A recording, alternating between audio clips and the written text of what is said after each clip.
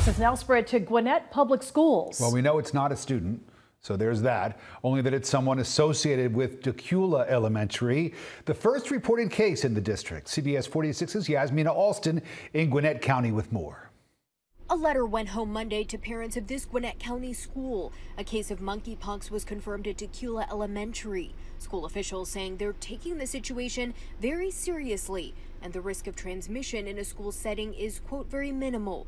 Students in the area say it's still a concern. Um, definitely a little bit, especially with the whole scare with COVID. It was a little bit nerve-wracking, but um, just wanting to make sure, you know, nothing else happens and we, you know, keep as normal as possible. The Gwinnett Newton Rockdale County Health Department confirmed an adult tested positive.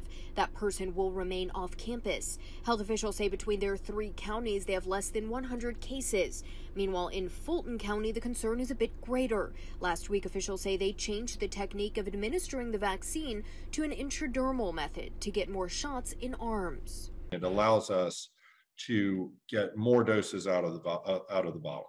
And Gwinnett County Public Schools says they are contact tracing and will notify any parents if their students had any close contact to the affected individual.